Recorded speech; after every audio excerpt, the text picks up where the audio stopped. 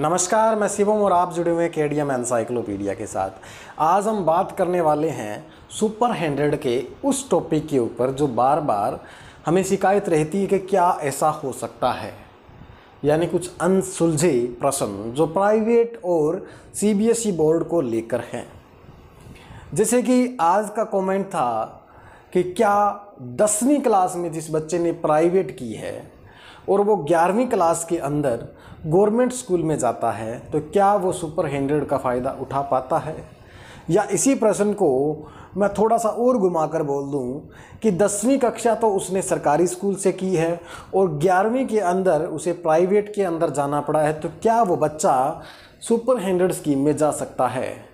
या इसी क्वेश्चन को एक और तरीके से और बना दिया जाए कि दसवीं सीबीएसई बोर्ड से की जा रही है और दसवीं सीबीएसई बोर्ड के करने के बाद ग्यारहवीं जो है वो एचबीएसई बोर्ड के अंदर होगी। इन सभी प्रश्नों के उत्तर इस वीडियो के अंदर आपको मिलेंगे। सबसे पहले तो मैं आपको बता देता हूँ कि सुपर हंड्रेड योजना जो कि हरियाणा के अंदर जितने भी सरकारी स्कूल है उस बच्चे उस स्कूल के बच्चों बच्चे ही इसका फ़ायदा उठा सकते हैं। यानी जो हरियाणा स्कूल के बोर्ड हैं, उस बोर्ड के रिलेटिव जो भी बच्चा पढ़ रहा है या सरकारी स्कूलों के अंदर जो बच्चा पढ़ रहा है, जो कि हरियाणा बोर्ड के अंदर आए, अगर वहीं बच्चा पढ़ रहा है तो इसका फ़ायदा उठा सकता है। एच के अंदर है तो वो इसका फ़ायदा उठा सकता है, लेकिन एच का मतलब ये तो नहीं कि वो सरकारी स्कूल ही होगा। कहने का तात्पर्य ये है कि हरियाणा सरकार के अंदर आने वाले जितने भी सरकारी स्कूल हैं, सिर्फ़ उसी स्कूलों के बच्चे इस सुविधा का फ़ायदा उठा सकते हैं। अगर कोई बच्चा दसवीं प्राइवेट से करके आता है और ग्यारहवीं क्लास सरकारी स्कूल में कर रहा है मेडिकल या नॉन मेडिकल स्ट्रीम से तो वो बच्चा सुपर हंड्रेड योजना का लाभार्थी नहीं बन सकता। दूसरी, अगर कोई बच्चा प्राइवेट स्कूल से दसवीं पास करके आ रहा है और ग्यारहवीं नॉन मेडिकल या मेडिकल स्ट्रीम के अंदर, सरकारी स्कूल के अंदर करना चाहता है या फिर कर रहा है, वो बच्चा भी सुपर हंड्रेड योजना से नहीं जुड़ सकता। अगर कोई सीबीएसई बोर्ड सी है सीबीएसई बोर्ड सेंटर का बोर्ड होता है। ये बोर्ड हरियाणा सरकार के द्वारा नहीं बनाया गया। यानी हरियाणा एजुकेशन के अंडर में ये नहीं आता।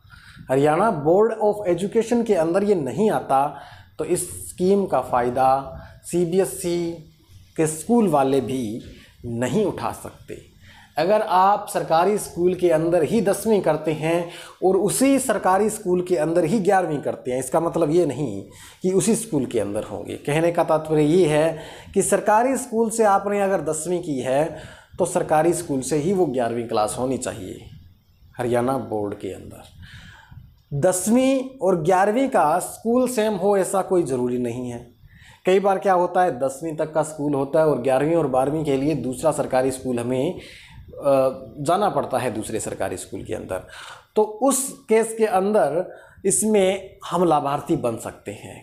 गए तो हम सरकारी स्कूल में, गए तो हम हरियाणा बोर्ड के अंदर ही तो हरियाणा बोर्ड के अंदर से अंदर जाएँगे, ट्रांसफ़र हो जाएँगे तो भी हम इस स्कीम का फ़ायदा उठा सकते हैं। लेकिन private to government government to private, ऐसी इस टाइप से अगर आप जाते हो, या इस टाइप से आप घूमे हो, दसवीं प्राइवेट से हो गई ग्यारहवीं सरकारी से, या ग्यारहवीं प्राइवेट से कर रहे हैं दसवीं सरकारी से हुई तो इस केस के अंदर आप इस स्कीम का फ़ायदा नहीं उठा सकते। गवर्नमेंट टू गवर्नमेंट ही होना चाहिए, Haryana board to Haryana board ही होना चाहिए, तभी आप इस स्कीम का फ़ायदा उठा सकते हैं।